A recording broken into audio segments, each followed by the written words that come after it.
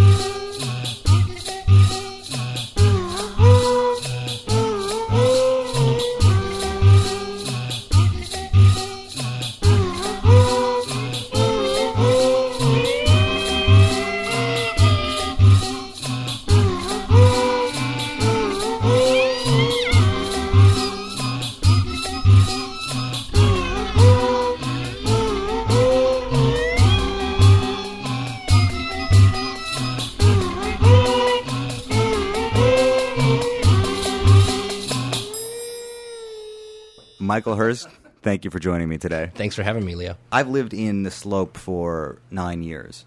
And when I moved here, you already seemed like a f- real fixture, a Brooklyn fixture. The coffee shop around the corner sells the CDs of only one artist. Right. And it's Yeah. you. Yeah. So I was kind of excited to see that you are a transplant to Brooklyn, as I am as well. I moved here in 2001, in the spring of 2001, and uh, you know, which was kind of terrible timing based on uh, historic events that took place later that year. But uh, stuck it out and and have been here ever since. And, and originally, I'm from Virginia. Grew up in Virginia Beach. Went to college in Richmond, Virginia, at VCU, and uh, moved up here in 2001 because I was working with an off Broadway production, uh, a show called The Pumpkin Pie Show, and I was basically traveling up here every single weekend to do these performances in the East Village, and I had kind of always knew I had to move to New York at some point, but was ultimately terrified of it because of things like airplanes crashing into buildings, you know, stuff like that. Which Um, hadn't actually happened. It hadn't yet. happened yet, but I just, you know, was like, that's why I was scared to move here because it's a, you know, just a scary place to live if you're from Virginia, you know, and, uh, or from Wisconsin perhaps. But that show and coming up that often allowed me to sort of fall in love with the city. What were you doing in, aside from being scared of living in New York, what were you doing in Virginia before you moved here? soon after I graduated from college, I bumped into an old friend from college, Joshua Camp. I knew Joshua was working at Hohner, which is a German harmonica and accordion manufacturer. The factory is based in the Black Forest and the Schwarzwald of Germany, but they have their main warehouse distribution center, repair center is in near Richmond. And I needed a job out of music school. What do you do with a music degree? And uh, Josh was working there as an accordion technician, and I saw him and asked if there are any other jobs available. What Uh, had you hoped to do with a music degree? I hope to compose music for films, but you know, as you you know as well as I do, you, it's how do you get into that? You can't just you know, hey, hold up your hand. I compose music for films. It's like it's it's an adventure trying to get to that point. And honestly, that was what 15 20 years ago and I'm still holding my hand up through this process and and doing that but uh people actually see my hand now whereas they didn't see it when I lived in Richmond Virginia I had to go through kind of all these steps to get there but Josh, yes, there was a harmonica technician position was available. So I started working at Hohner. Josh was the accordion tech. I was the harmonica tech. I actually repaired harmonicas eight hours a day, five days or four days a week, really. Honestly, I hated harmonica. Uh, and it wasn't a sound or instrument I particularly liked. And I had to learn how to play it. And Did you learn to love it in playing it or not? no, I. I still kind of hate it, but I Yeah. do love the history. I'm staring at your stack of harmonicas yeah, as I say this. yeah. I see a blues harp and oh yeah, okay. There you have the MS series blues harp. At Hohner, they refer to that as more shit. Have I been taken advantage of? Not at all, but the the MS series, the reed plates are interchangeable. You can actually buy the cheapest MS series. There's a little secret for harmonica players. You can buy, uh, I think it's like the Big River harp is maybe the cheapest MS series harmonica. They're the exact same reeds and reed plates. If you blow out a reed on a blues harp, just buy it and swap out the reed plates. Well, and that's the part that I really became fascinated with was almost more the history and the science and and I say technology even though it's very simple was an instrument invented by a clockmaker in the 1800s but free reeds um, which can be applied to so many other things too. And Hohner has so bravely or foolishly invented all these instruments that use free reeds um, often that are on the market for a day and then removed. And you know obviously the harmonica has stuck and the harmonica is one of the top selling instruments in the world because it's affordable. You can put it in your pocket. Anybody can be a musician, and that's why it's worked so well with uh, lower income people and become these amazing blues people. You know, and it's like, but uh, obviously, an accordion is sort of a very elaborate harmonica. In fact, in German, uh, well, Mundharmonika is harmonica, and an accordion is harmonica. Uh huh. So uh, it's sort of the other way around. The harmonica is the mouth accordion. But then melodicas and uh, I mean, there's you can look through some of these old catalogs and see these crazy things that look like typewriters that you put in your mouth and have these keys you play and and then of course they, while I was there they invented this thing called the claviola, which uh, uh, looks like sort of an accordion, but you have a mouthpiece that you blow into, kind of like a melodica, but it only doesn't have bellows. It has one set of vertical keys, and then it has pipes that come off to the left, and is sort of freaky looking, like Yeah. a wing almost to the left. And you got into playing that. Well, that was introduced. It never even really went on the market. They made about eight of them originally as prototypes. And Josh and I thought they were the most awesome and ridiculous things in the world and basically decided to start a band based on that instrument. And that's how One Ring Zero started in uh, 1997, essentially. Uh, we started the band using the claviola as this front piece, but then figured why not add every other whistle and bell and toy and knickknack we could possibly find. Um, and that's how I got into playing the theremin. At the, that time, I had knew about theremins, and I bought one and started playing and adding theremin to this. I had this old Thomas organ that my father bought when I was eight years old with a Wurlitzer speaker, and that was in every song. And um, basically, I was also working for the dance department at VCU at the time, and uh, was playing drums, so I would add a lot of you know beats and stuff. And Yeah. and a lot of our early music, the first album was in fact stuff that was written for modern dancers. Even the first couple albums, and my wife was a dancer, going to, going adding all that. She was in one of the classes, but um, What is the history of the name? What does the name mean? it's such a dumb story. Uh, ultimately, we were called Return to Zero because everything was being recorded on a Tascam 8 track in my basement studio.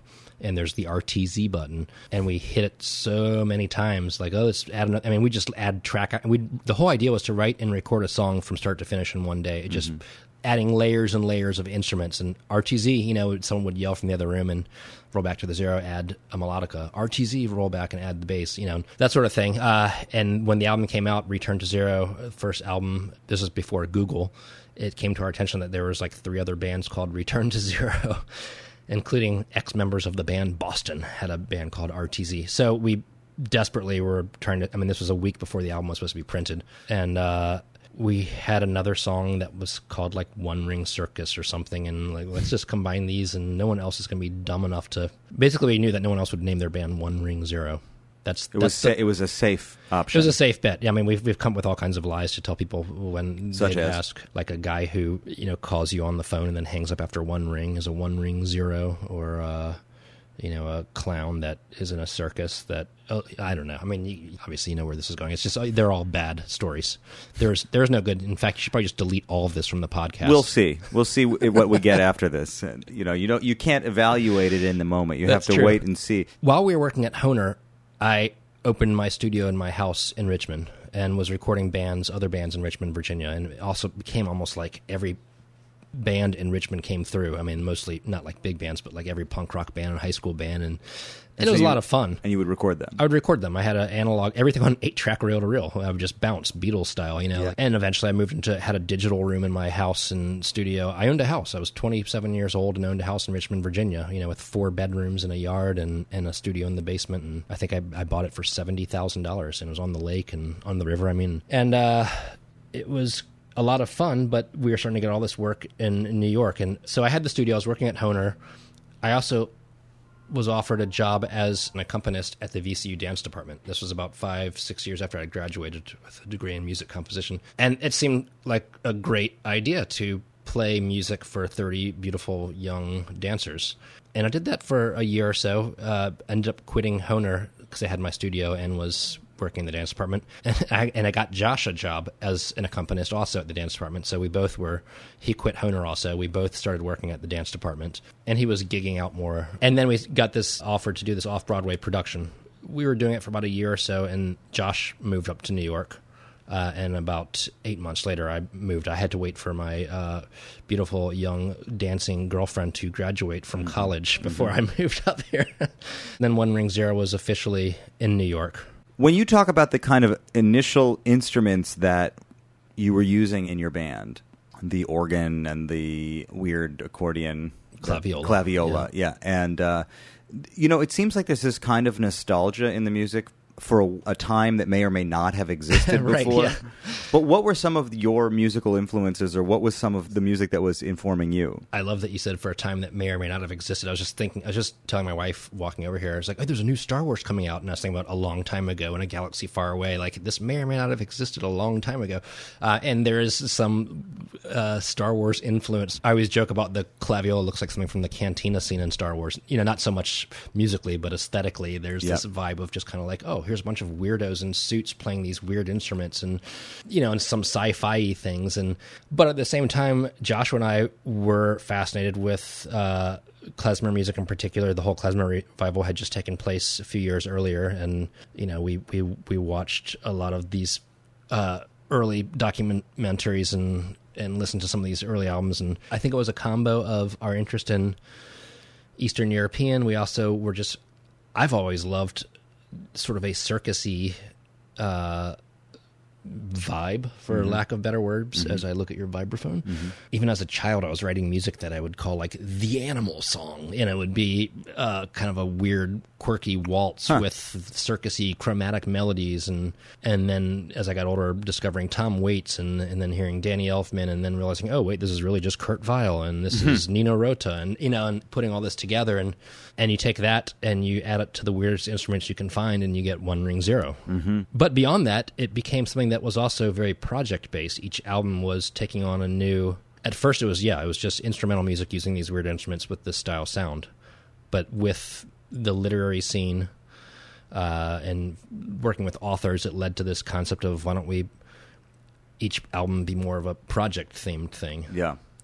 Hearing the One Ring Zero story and how it came from RTZ, you mentioned that you would set this kind of somewhat artificial limitation on yourself like we're going to write a song in a day and whatever emerges in that day that's the song that mm-hmm. we wrote yeah. that already is a kind of a superimposition of some limitation and i was thinking about your projects today how you know they're as informed by what they're not as what they are. You right. eliminate a lot of possibilities, and what's left is the sort of nugget of truth in at the center of it. You know, so whether or not it's yeah. animals or food or authors or the news, yeah. you know, all of these things are have stripped away a lot of op- yeah. opportunity, and so you really have a chance to like hone in on what it is. I love the way you looked at that. I love to set limitations on on my work. I love program music, and um, have always been fascinated with with the project, you know, and setting boundaries. I've been aware of this, and it was wasn't necessarily something that I totally knew that's what I wanted to do, and it wasn't completely coherent. You know, I don't know. It, like it was in the back of my head, and I was just doing this without thinking about it. But then I started working, and this is jumping way ahead. I started working with Kronos Quartet a bunch in the past few years, and David Harrington of Kronos Quartet was the one who kind of said to me, and it made sense. It's like because this is what Kronos does too. Every album is a different project. And even though they're a string quartet, they this one's going to be uh, you know this style album. This one's going to be whatever the African album. This one's going to be a Bollywood album. And and I realized I was doing sort of a similar thing, but under my name and or One Ring Zero's name and with these weird instruments. And he was the one who basically said, "Look, you keep doing this, and uh, some of them are going to flop, some are going to hmm. take off, but ultimately, what you're left with is this catalog that will just keep building and becomes you. And it's no longer, I am this guy who does this literary thing. I am this guy who does this weird instrument thing. I'm this guy who does this recipe thing. I am this guy who does all these projects and finds things that are fascinating, interesting, and goes after them, and then moves on to the next thing. Mm-hmm. When you do it under the name One Ring Zero, how does the collaborative element of that work? How do you approach that? It's always been Josh and I as a duo.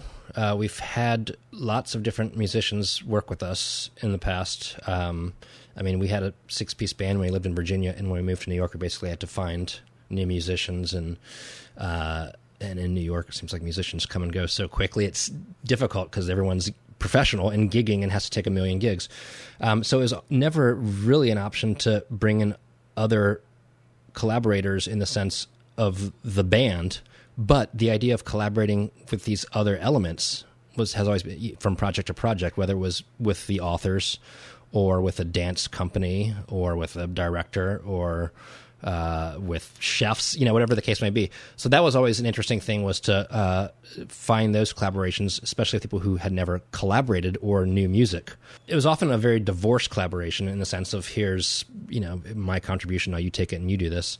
As far as Josh and I would would work together, you know, a lot of times we get in the studio and say, okay, we need to start working on this piece, and you know, one of us will hammer out some chords and be like, well, that's a starting point and then you know then we'll say well how about if you add this sort of progression and maybe has a bass line like this and because we want to include that lyrics as a you know repeating thing and and our brain and the longer we worked together the more our brains sort of became one mm-hmm. and knew what the other was thinking and Um, and so that picture at Barbès of the two of us with one accordion kind of is true in some sense, Yeah. you know. And So then, how does it feel when you are attacking a project alone? I mean, is it a, a different way of thinking about it when Well- it's just you, or not really? Yes and no. I mean, it's, at sometimes I, I working on solo projects, I actually like I'm like what what would Josh say? You know, Yeah. like in the studio if we were together, like would he- you know, I that runs through my head sometimes. Um, and uh, you know, the reality of it is we both became busy with so many other things. One Ring Zero has slowed down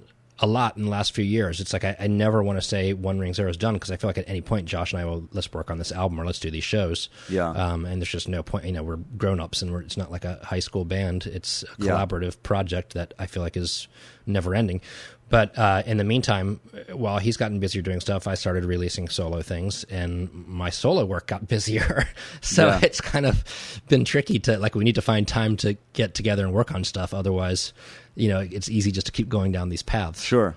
So when you moved from Virginia, you moved straight to Brooklyn. I moved straight to Park Slope. I uh, had a the director of the play, Clay McLeod Chapman, who is also an actor and writer, uh, lived on 17th Street, and uh, my wife and I, who she wasn't my wife at the time, but we moved into his house, and there was a room that he had for rent, and so we were there for three or four months, and uh, we actually signed our lease uh, for September 1st of 2001 Wow. uh, you know, a year lease, and uh, two weeks later, I was trying to decide whether we wanted to break our lease or not. Um, but we, you know, we were here and stayed here and uh, have lived on 11th Street since then, and it's amazing how much it's changed. And yeah, it's, and as you're saying about uh, the coffee shop and Barbès, the music venue, you know, as I got to meet people in the neighborhood who wanted to do these things, I jumped on it and was like, "Hey, if you do this, I'll hel- help you out. That's amazing. Uh, I can't think of anything better than having a music venue in the neighborhood. I'll help you build the place." And, and in fact, I built the stage at Barbès and have uh, be- been very good friends with Olivier and Vincent, the owners, and. And then six years into that, uh, this coffee shop opens next door, and I get to know Jonathan Israel, who's the owner, and he's become one of my best friends. And yeah, and slowly, I'm turning his coffee shop into a Michael Hearst uh, outlet store. That is the dream, I think, for all of us to have a venue to sell your product in where they really only, you know, if you're going to make an impulse buy at the last minute, your options are a One Ring Zero CD or a Michael Hearst book. or some financiers. Jonathan is awesome. He's such a good guy, and uh, and you know, I obviously love his product too. And when he first opened up, I've always been interested in, in the food world and pastries, and, and I asked him if I could uh, work there one day a week just to learn how to make pastries. Can I come there and, and just hang out in the kitchen and, and get away from music and writing and you know see how you do this stuff? And and he said sure. Uh, and but the only position he had available was as a barista in the front and i thought well that's that'd be fun too. Why not? It was sort of a, a vanity job i hate to say. I mean it wasn't like great money or anything but it was a lot of fun. And i was wired on coffee all day long and uh, got to know a lot of people in the neighborhood through that also. Of course being close with Barbès, which is next door would all my friends would come in and before a gig and get a coffee and, and then after work go next door and get a drink with them and play a show. And so it's kind of this nice uh, combo. You seem intensely curious about a lot of things.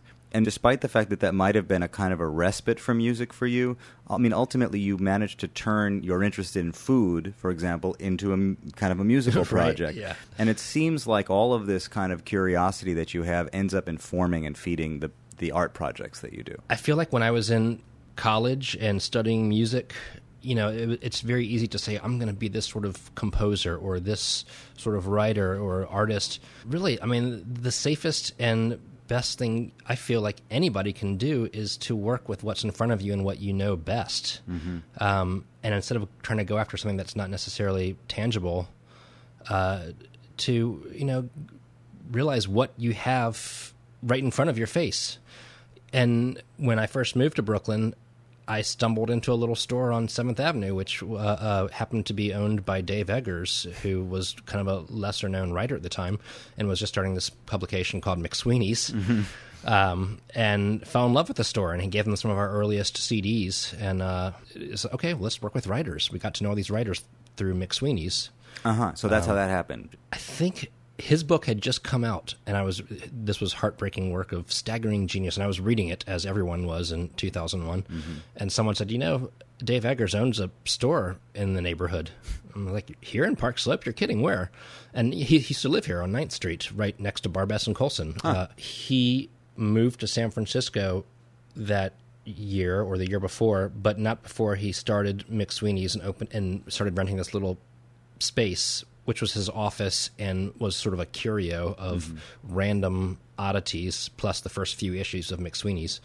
And I must have walked up and down Seventh Avenue thirty times trying to figure out which store it was because there was no sign. I'm like, well, it's not this vacuum store with the twins. It's not, uh, you know, this uh, barber shop with this 90 year old Italian barber. You know, it's like it must be this place with these gigantic pots with uh, pumpkins growing out of them. And uh, and went in there and it was like, what is this stuff? There are pewter birds' feet in little cubby holes and small rubber cubes were for sale. You could buy like three for a dollar. Um, springs in a jar and you know, and then this guy comes.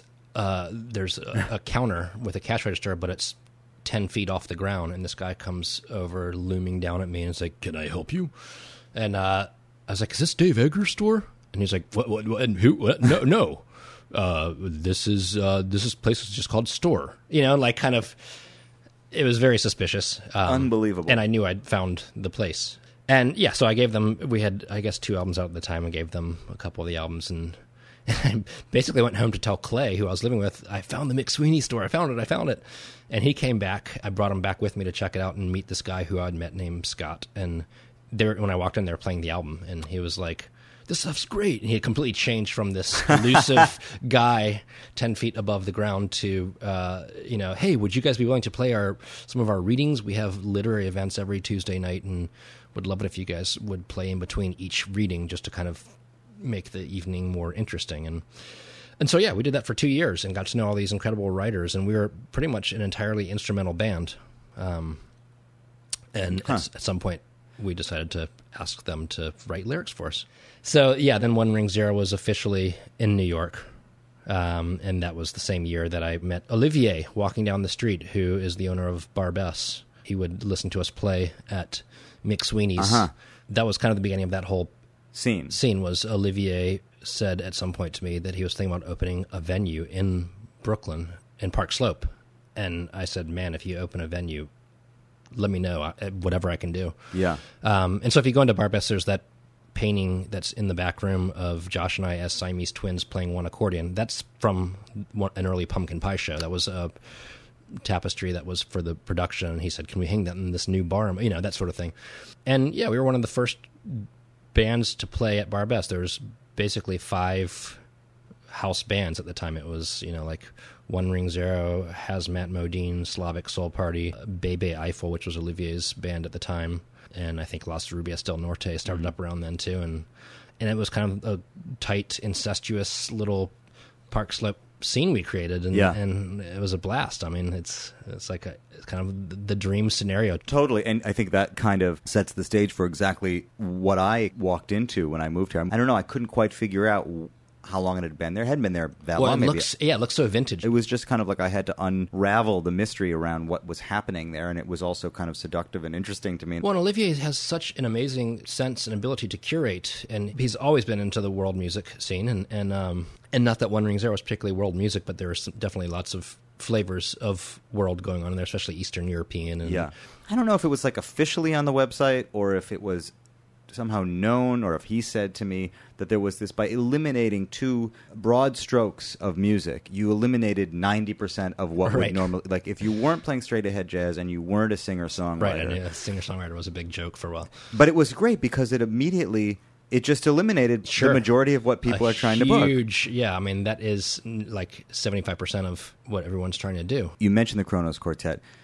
I saw that some of the videos that you produced as part of the um, Unusual Creatures project, and there's the video with the Kronos Quartet. Sea pig, yeah. That video was a great example of taking music that might be considered to be like really elevated and serious, and really infusing it with an absurdist sense of humor. I mean, you at one point they're kind of bowing these inflatable latex gloves and really bringing back down to earth a lot of the the kind of mystery of, of classical music and serious music. Right. You know, looking at your whole overarching thing. There's always a, a little bit of humor. even when I was in music school uh, for my senior recital for music composition, I had a hard time really taking it serious. I mean, I, I learned everything I needed to learn. I feel like for the most part, I you know learned my notation and studied mm, uh, Schoenberg and you know whatever. And uh, but then when it came to composing, I did pieces that were fun and entertaining to me. I did a uh, a uh, madrigal suite for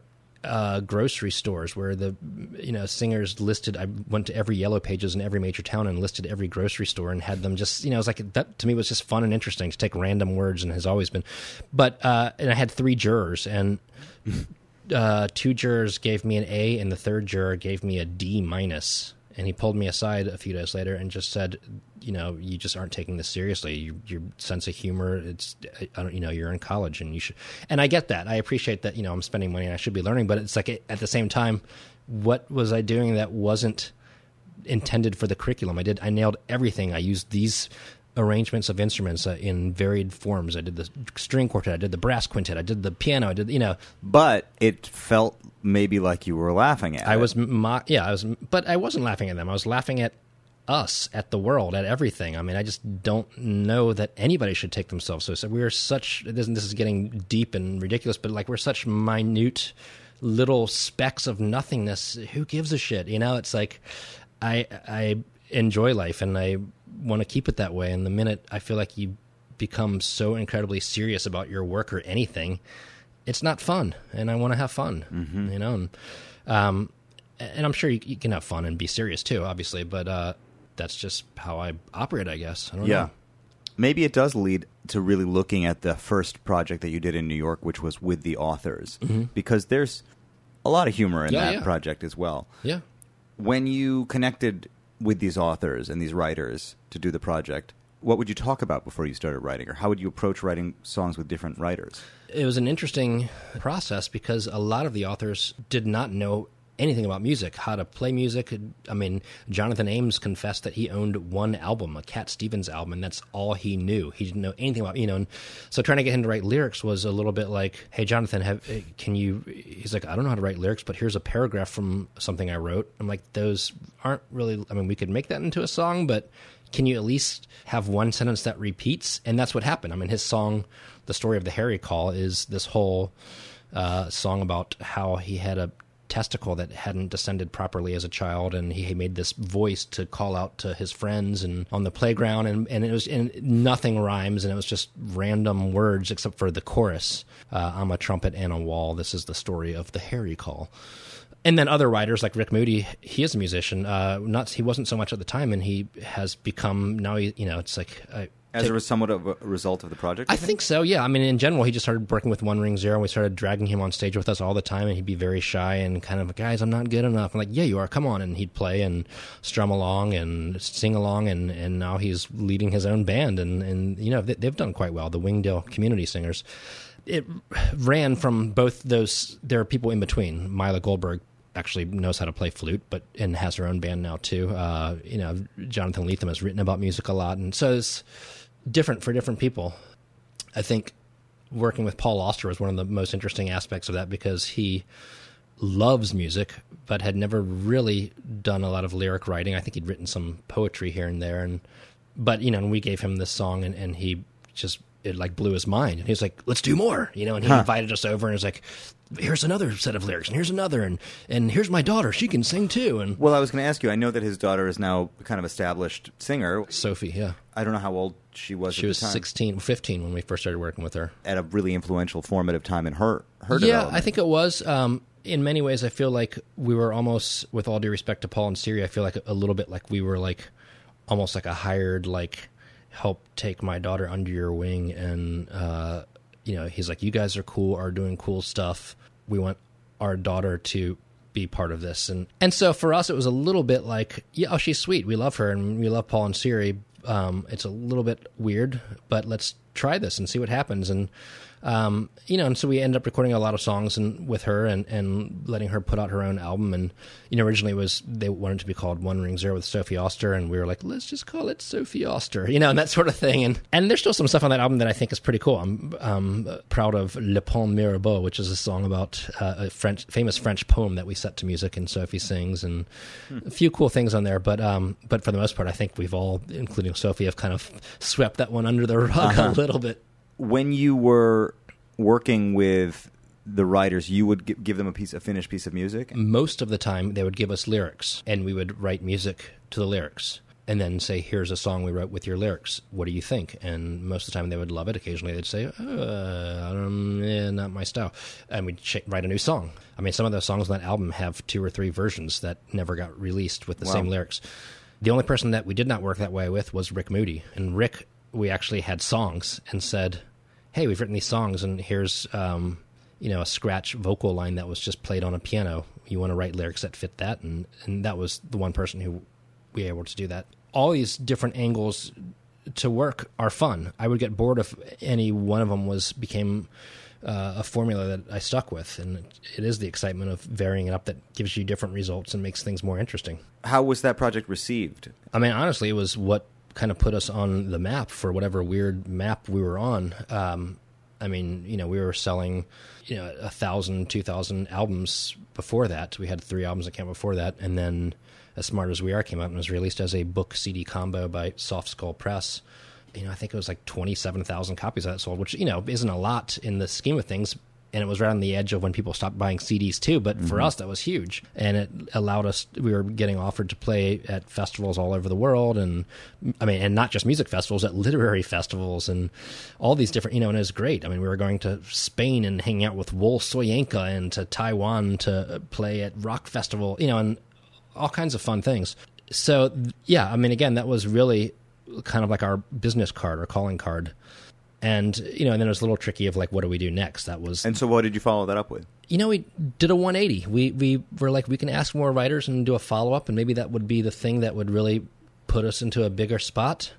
But at the same time, I felt like there was this backlash going on against McSweeney's, and and it just didn't feel true to do that. It didn't feel like I felt like we were done with that, you know. And it was a lot of fun, but let's do something else. And and at that point, I thought I would try something that we had never done before, and that was to release an album simply for the sake of the music. you know, like we are going to write songs, write our own lyrics. It'll be in our style, but it's not going to be a collaboration with anybody, and it's going to be an indie rock album. It was called Wake Them Up, and it's still one of my favorite albums. It did not wake too many people up, but uh, it has actually been an album that a lot of the tunes have been licensed, which has been great. I was going to say when you go to Spotify, some yeah. of them are the most popular yeah. songs. Are so it's record. like you never quite know where. I mean, and that's something that I have learned, and uh, you know, I'm sure you know are on this boat too. But it's like no one's buying records anymore, so you have to think what is going to be licensable. A and R, the sort of the arm of the record business that used to find the artists and help develop them, and they would also think about well, what's going to be radio friendly? The role today is where's the 30 seconds of this? Totally. So rather than where's the radio single, it's where's the licensable moment on the sure. record it's a twofold operation. Like you want to have this thing that you can release and be proud of, but you want to build your catalog of tunes that can be on hold for when uh, you know you get the call. exactly. We're looking for a song that's about two minutes long that has a slight yeah. So yeah, and that's what uh, "Wake Them Up" was largely. It was lyric driven, at least half of the album, but it was largely instrumental, and and that was kind of the one moment where we dipped our toes in just doing an indie rock straight ahead album for me. And I and I learned from that that it's very hard to sell an album for music's sake, hmm. music for music's sake. It's, well, you know, it's funny. You sold twenty seven thousand copies or whatever it was of Smart, Smart as We Are, yeah. the author CD, but you managed to bypass the record business. Yeah. Actually, you did it through a publishing company, a book publishing right, company, totally, which is great. I mean, it's a sort of like a, a larger example of being the only artist that is for sale at a coffee shop. You know, you're not competing with every other CD in the world. You are, yes, competing with every other book in the world. Yeah. But there are not that many books and CDs that are combined sure. and sold that way. So you actually managed to get away with without having to get signed to a record label. Well, and that's no one no one wanted to sign us because we were so off the beaten path and you know off the radar, off the mm-hmm. radar that I had to think outside of the box to figure out how to get this stuff out there. And I remember it was it was uh, Boo Frobel Frabel who books at at the time she booked at Galapagos, and now she's the head booker for Lincoln Center Outdoors. Uh-huh. I was like, yeah, I keep trying to find some like backdoor way to get into the music industry and sell our stuff. And she's like, dude, you're doing it. You know, you're getting your stuff is selling better than any musicians doing anything similar, and that's because you're not. You know, and, and even when I put out uh, songs for ice cream trucks, my first instinct was forget Koch and all these distributors. Let's talk to Baskin Robbins and try to get this on the counter at every ice cream shop around Brilliant. the country. You know, and And um, ba- uh, well, two things happened. One was I could not get Bar None to make it happen, so I took it into my own hands and got in touch with the vice president of Baskin Robbins, talked to him, sent him the stuff. Um, he never re- got back to me after I sent him the stuff, and I pissed off Bar None Records by doing Oh. that. you made a, a record sort of inspired by and dedicated to ice cream trucks. Right. So songs for ice cream trucks. Uh, I think I was working on a One Ring Zero album at the time, and, and was just getting fed up by hearing the Mister Softee truck pass by my apartment every two hours, and you can hear it very if you listen very carefully on some One Ring Zero records in the background of every other song. I was like, man, someone needs to write some new tunes for these ice cream trucks, and then it occurred to me that that someone was going to have to be me. Or you, you could have done it too, but uh, You have to take matters into your own hands yes sometimes. um, i went about writing uh, you know it's a 40 minute album of ice cream truck songs that i self-released under my name and and i wasn't even necessarily thinking that they were going to get used by the truck as more the novelty of doing this album of chimey songs that wasn't that far from what i normally did anyway it's just a lot more glockenspiel and what are the elements? I mean, the main thing I used was the main melodies are glockenspiel. That was the one thing that I could really play music on that would sound ice cream trucky. I mean, if I really were going to do it right, I would get a music box and carve out reeds myself. And I thought about even like doing some of that, but it was just going to be too complicated, and Yeah. I wanted to take it a step further. And and the reality is. You know, that's looking at uh, historic ice cream trucks. That's looking at how these old Nichols boxes are called from uh, these early trucks. Even before that, they were music boxes essentially with a spindle. And you know, we're in a new era. You can hook up an iPod to speakers, and that's what a lot of the newer ice cream trucks are playing. So why limit myself with a music box? So, did you do a little research? I did a lot of research. Um, I talked to historians. I read books. I talked to ice cream truck drivers. The one thing that I really learned was that the idea of the music is it's supposed to call attention to the truck. It needs to be something that can project through the air and can be heard a few blocks away. Hence the high pitched Yeah. glockenspiels, and they're, they're little speakers on the truck. And um, I also learned that it wasn't just us who are sick of the ice cream truck songs. The drivers were incredibly sick Sure. of the songs and were eager for new material. So So, has it been used by yeah, I mean ice that's you know, and again, it's like I didn't even think that would happen, but the album came out and it got fairly good press just because of again, I was saying it's hard to sell music for music's sake, but if you have a angle to it and you can spin it into something, here it is. You know, everyone wants to write about come springtime every year. Every, you know, I get calls saying, "Hey, would you be on this show about ice cream truck music?" And yeah, I mean, the album came out six years ago, and it's like I'm still doing press for it. But uh, and a couple things happened. One was that it sort of became a runaway kids record. All these parents were saying, "Oh my god, my kid loves this like lullabies, nursery rhyme." Yeah. You know. Then I started getting emails from ice cream truck drivers, and still have continued to get emails and calls. You know, saying, uh, "Can I order this? And how can I attach it to my truck?" And this and that. And so there's you know 50 plus trucks around the country at least that I know of that are using it. Um, I know there's like an entire fleet in Portland that's using some of the tunes, and and it's also been licensed. I mean, one of the tunes was in a Wendy's commercial, another one was in Bored to Death. You know, it's Yeah. like all that stuff has. I mean, it's funny because when you see, I see the title songs, songs for ice cream trucks. Is that what it's called? Yeah, that's how, that's as simple and as how else would you you know like Right, but but it didn't occur to me that it was that an ice cream truck driver would read that and go, "Oh, this is this is for my ice cream truck." I thought it was de- more like dedicated to. It ice was originally. Yeah, it was more of a dedication thing. But the, what I realized also was that if you at the time, if you Googled ice cream truck music, ice cream truck songs, songs for ice cream trucks music, right, nothing was coming up. I Hmm. mean, you'd find a link to the Nichols company that sold that music box that plays the song that you hear every second on the street. So yeah, I should call this thing "Songs for Ice Cream Trucks." Um, and uh, and now when you Google that, that's you go straight to my site. Following that, you got to the food project. Although I think there are some other projects in between. Right. Uh, there was planets. Did a whole uh, song cycle of music inspired by the planets. Basically, we realized it had been hundred years since Gustav Holst had released his orchestral suite, and thought it'd be fun to essentially revisit with our own music, our own instruments, our own style. So did you look at that initial suite? And Oh yeah, we listened to it a lot. And in fact, that was you know something I loved and listened to a lot when I was younger, and kind of was one of those things that I could grab onto and put the Led Zeppelin aside. And this is cool, you know, this song about Mars and Bringer of War, and um, maybe I'll go to music school, you know. And so we there's some nods to Holst in our version, and we looked at w- how science has changed from then, and and Holst's version starts at Earth and expands its way out. We start at the sun and work our way out. Holst did not include Pluto because Pluto had not been discovered yet, which was a smart move because then Pluto ultimately was demoted to not being a planet.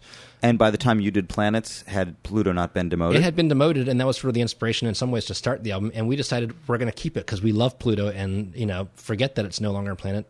And it also allowed us to get this uh, amazing quote from Neil deGrasse Tyson that says, "Was listening to Planets by One Ring Zero until a song titled Pluto came on. What's up with that?"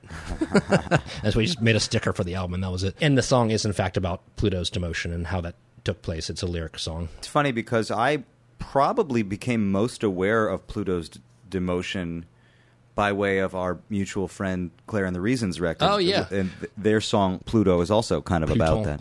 Yes, we were working on those at the exact same time. And in fact, Claire and I got together and said, "Hey, you're doing a song about Pluto, so are we. We should pitch this to NPR and do a." And we did. You know, it's like we're both deviously like, "How do we?" Fantastic. So we did a show together where uh, we both discussed our love of Pluto. Um, and her song is so beautiful. I love the strings and ahs together in that song. Incredible. And the other thing we put on the album was one song for all of the exoplanets that had been discovered, which uh, Holst did not know about. All these other planets outside of our solar system. Uh-huh. Right. And, and they keep discovering more, and it could be an endless suite of material that comes out for each planet. But we figured we'd just do one track to cover them all. Right. Or in the sheet music, it should just have a repeat sign. Yeah, you like know, Philip so Glass, yeah. Gone Wild. Yeah. You can accommodate the future. You don't know what's going to happen. The new album, Philip Glass Gone Wild. Planets came out, and then uh, we kind of went back to the author project idea, but this time working with chefs and asked all these different chefs for recipes that we would then set to music and in a style of music that they suggested and sing word for word, which was incredibly difficult to do. Take a recipe, set it to music, and sing it word for word in the style suggested by the chef is Yeah. a lot, and uh, it was a big challenge. And So if it's a Tarantella, you have to do a Tarantella. And a- that's exactly what happened. Yeah, I mean, Batali, you know, said Tarantella. Here's a Tarantella. Aaron Sanchez said Banda, and we're like, oh man. So yeah, we wrote a big Banda piece for him for this dolce de leche duck breast with ancho, chilies, and we had a uh, Zydeco song for John Besh. That I mean, that was easy enough because Josh plays accordion. I just had to buy a Zydeco triangle and keep rhythm on it. do you have a relationship with these chefs already? No, this was even more divorced than the whole author thing. I mean, the authors we knew. We got to know all of them. We worked with them. We became friends with them. I'm still friends with those authors and, you know, still talk to them regularly and brought them on stage. With the chefs, it was uh, much more email through, sometimes with them personally. I got to know some of them. Um, well, one of them, Chris Cosentino, is my brother-in-law, so that I definitely know him, um, and he was very helpful in, in introducing me to a lot of the others as well you know, a lot of it was through agents and Yeah. uh, yeah, and emails and and even Twitter. You know, like, hey, dude, send me a recipe. I mean, it's interesting. My mother has this line that I love, which is food is the new rock and roll. What it felt like in the 60s to see how the world started looking at music, that's how it feels now seeing the shift in, in the way chefs are perceived in the popular cultural conversation. No, that's and that's true. In the album, in the book, is a book album combo again. We wrote about that, and, that was true with the author project too. At the time, all these authors were becoming rock stars. It was like this resurge of sort of the beatnik era or something in, in the late '90s, early 2000s, where all these authors were becoming huge. People were reading again and going to literary events, and and all these authors secretly wanted to be rock stars. And so, why not make them rock stars? And now mm-hmm. here we are, you know, eight years later all these chefs are rock stars. They are the new rock stars. You know, thanks to the Food Network and all these magazines and, and shows. It's like, yeah, people people know who John Besh and Mario Batali and David Chang are way before they know who's in the top twenty music world. But that's why I think it's kind of not surprising, but kind of funny that it was a different time, let's say, but you were able to approach the authors directly and personally. But when it came time to meet the chefs, the way to do it was through an agent or through Twitter, the Yeah. same way you would try to find like a famous actor or if exactly, you know what I mean. Yeah. And I have to say, it wasn't nearly as much fun and didn't Yeah. feel as organic because of that. I mean, that was maybe one spot. I mean, the, the organic factor did come in with my brother in law, and that was a big part of it. And, and Chris is, you know, a celebrity chef at this point. He's had several shows on the Food Network Mm-hmm. and stuff, and is in every time I open a food magazine, oh, there's my brother in law. You know, and he was the one who was like, "Oh, you should do an album like your author thing, but with chefs." And Oh. and so he was the one who really kind of was pushing the idea. And at some point, it just, yeah, let's try this. And I wrote, we did the first song we did was for him.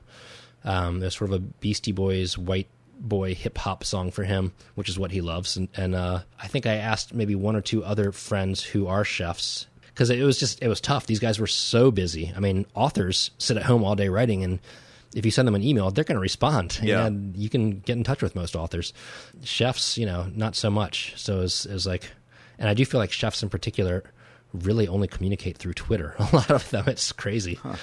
Maybe Twitter's just like the most immediate, fast. That's like- exactly it. I mean, if you own four restaurants and you're traveling from one to another every day and occasionally actually cooking or you know Yeah. picking up the produce or whatever, yeah, Yeah. I mean, the- all you have time for is to write at Michael Hearst. Sure, agent is sending you recipe Right. now. You have permission. Right. You know? I started to talk to Emma Straub about that a little bit Yeah. when we spoke about just how blown away I am by how available she is, not only to her friends but to her Yeah. fans, and like, Sure.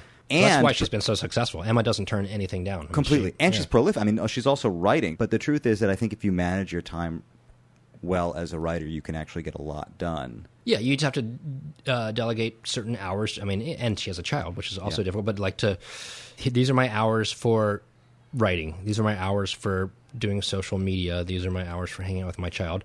You know, I find myself doing that as well, and you have to. There's no other way. So, how is your general workflow set up? I mean, it's it's changed drastically because I have a six month old, and I'm still trying to figure out how to make it all happen. With uh, you know, I keep saying like, oh, my biggest project that I'm working on right now is this child, and this project is not one that I turn in and move on to the next one. This chi- right. this project doesn't go away. Keeps going, yeah. yeah, and uh, so it's like that just becomes part of everything. And I had you know my studio was in my apartment.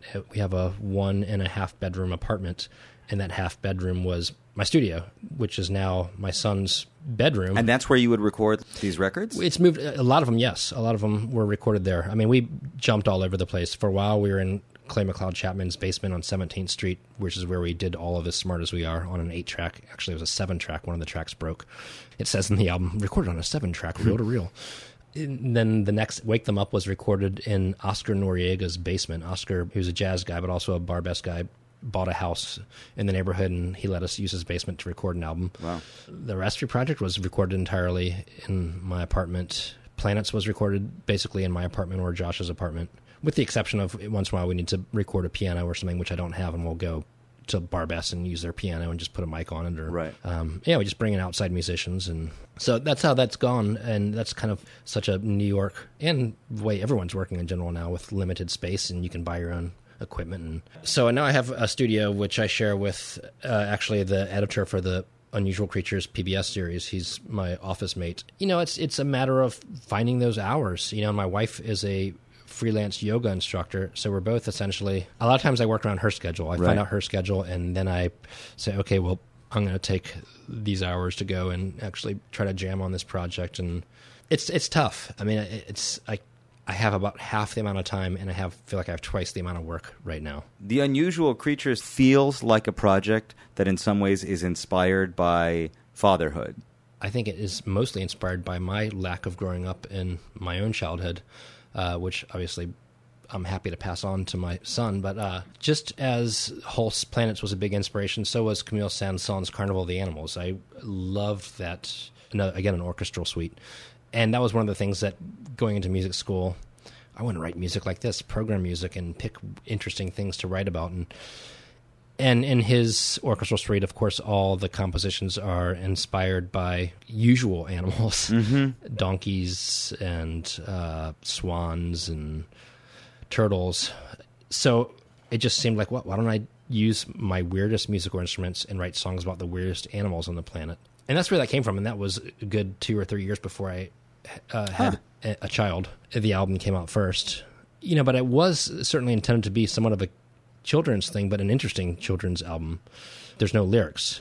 You know, as I always say, with all due respect to the They Might Be Giants and Dan Zanes, it's like I wanted to do something that I listened to when I was a kid, which was Peter and the Wolf and Carnival of the Animals and uh, stuff like that. Um, and so, yeah, when that album came out, I sort of simultaneously was offered to do a book through Chronicle, a children's book, which again is a book not necessarily meant to be written for kids, but it's a kids book and it's 50 of my favorite weird animals that I each each page is a different weird animal that I write about and kind of it's almost like done in those old uh, safari card style like mm-hmm. here's the map and here's its scientific information and then here's my goofy paragraph that I write in my own voice about this weird creature and why it's so awesome. And it goes together with the CD. You can listen to the CD. And the bottom line was the publisher didn't want to put out a CD. They're like, CDs are done. We can put a code that goes to download. Download. Or, yeah. Like, yeah, that's no. I'll release the album myself. Uh-huh. Which was kind of a win-win because then I could retain rights and right. continue to release my own stuff. And, and here's the book, and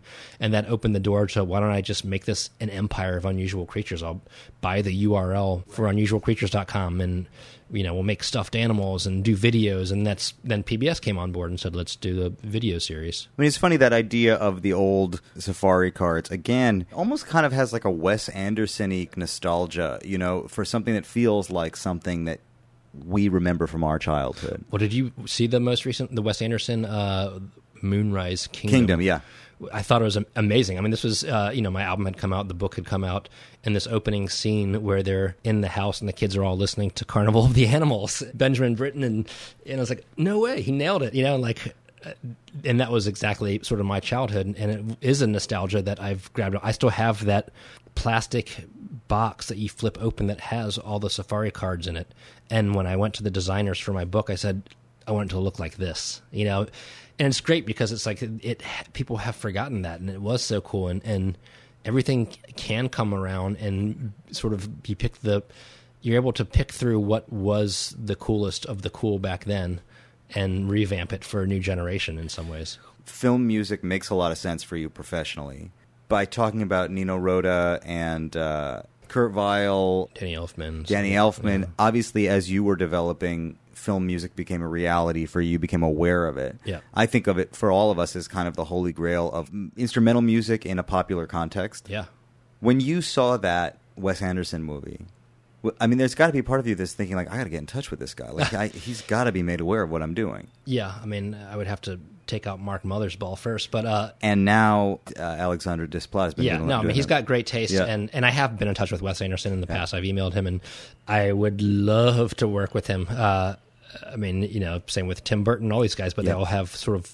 It's like I feel like a lot of directors, and I respect that they find their composer and they work tightly together. And, and every person you ask Carter Burwell, like, well, how do you get into this? Like, you, you, you become friends with these guys in college and you stick with that's them, right. you know, and, and that's how it happens. And, uh, you know, unfortunately, I kind of missed that boat. I wasn't, I didn't go to NYU and work with no f- film majors that I thought were great. So I'm fending for myself at this point and constantly trying to just meet directors and, and, and the more films you do and the more commercial work you do, the more the word gets out, as you know. And it's just kind of like one of those things where yeah, I mean, I, I've always n- known and wanted to do this, as I mentioned earlier, and my music definitely lends itself to that. It's sort of a no brainer, but it's still trying to find these people who are willing to work with you and not their buddy from the dorms. As you created these opportunities to put your music out there, and I think in a lot of ways, these projects sound like they were kind of a way for you to kind of put more music of yours out there so that it's available for anybody yeah, who's looking sure. to see what you can do. Here's another calling card that you've managed to sneak in the back door of all right, of these projects right. because they all stand alone as these beautiful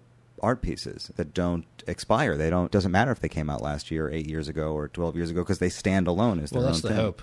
And yeah, I mean, my advice to anybody doing that, it's like I, I feel like at this point, you know, we're not going to make money from selling music online. It's just not going to happen. It's so depressing. Pandora and YouTube, and you know, the checks that come in and you know you can post your bill on facebook and look i made three cents for a thousand downloads and it doesn't matter just put it out there because you know the more it's out there the more someone with money will come to you and yeah. you know, who does have to pay for what they're doing and you know and so it's kind of like yeah put it on every digital platform you can possibly sure. find why not uh, you can't get paid anymore but you can also make records in your half a bedroom, Yeah, which still takes time and costs money, and you got to buy the software and, and you have to take the time. You have to spend exactly. No, it's it's time and the skill. You don't. It's not something anybody can just sit down and you know. I, th- I think it was like David Gilmour was saying in some old Pink Floyd thing. It's like, look, yeah, not everybody knows how to use this equipment, and that's we're not leaning on the equipment. We have to know how to use the equipment. and what to do with it. Yeah.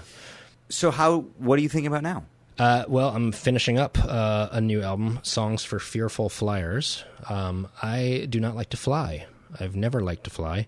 I fly nonstop because of what I do, um, and I tolerate it, but I hate it. And it just keeps getting worse. You know, like you know, with the more TSA and this and that, and and at some point, someone told me that the only album they could listen to while flying was songs for ice cream trucks, and that was like win like awesome you know another another weird thing. And i realized i listened to chopin nocturnes over and over again. Uh, i also have listened i listened a lot to uh, glass's version of the heroes album by david bowie for some reason. I really like that which is brian eno also worked on. And then i started thinking about brian eno's music for airports and all these things. And it's like you know i'm going to do an album that's um, well here's here's the real name droppy fun part of the story is that i was in san francisco right working on a play right when that Air France jet disappeared into the Atlantic Ocean. I was like, oh no, and I got to fly to France on Air France in a few days. And obviously the odds, are, there- I know the odds, I know the statistics, and uh, and I told Especially on Air France. Let's. It's not going to happen twice on Yeah. Air France in a week. no, exactly. And I told the director, Ellen Sebastian Chang, I told her, I was like, oh, flight, oh no, I'm terrified, listen to that. And Ellen, who's been working in theater for a long time, said, you need to talk to my friend Whoopi. And she literally like calls up Whoopi and hands the phone to me. I'm like, I think I know which Whoopi this is. Yeah. And I get the phone and, hi, Michael. I'm like, hi, Whoopi, how are you? She's like, I understand you're afraid of flying. So am I. You know, and, and we have this whole conversation while people are coming in and taking their seats and and she's like, here's what you need to do. And she's telling me all this stuff. And by the end of the conversation, I felt better. And I said, if I can get you to record what you just told me and I can use it behind some music, I will put out an album called Songs for Fearful Flyers. Would you be willing to? And she's like, I, I will do that. So the final song on the album is Whoopi doing um, voiceover work for, you know, Fearful Flyers. So that's what I'm working on. And another book and a baby. And yeah. You've done so much wordless music, and yet there's another component in your life, which is as a writer to write Yeah. words. Yeah. Why do you think the separation? Well, I don't always separate them. I like to put them together, but um, there is a big difference, and that's something I learned through the author project. As smart as we are, was that there's a big difference between prose writing and lyric writing.